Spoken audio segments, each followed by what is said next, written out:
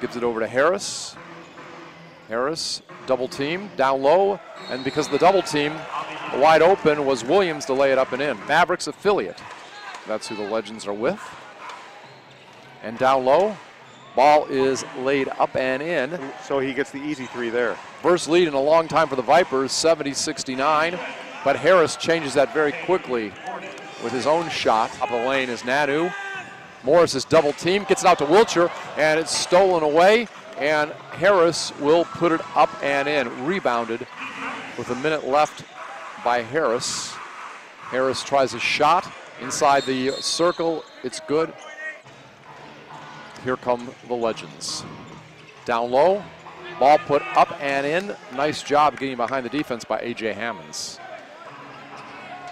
And that's his seventh and eighth points.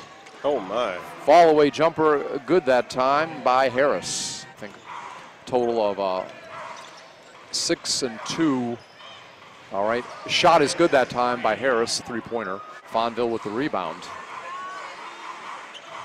Fonville, alley oop to Hammons, puts it up, good, foul.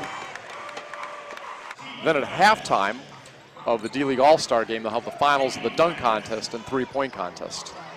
Harris hits the three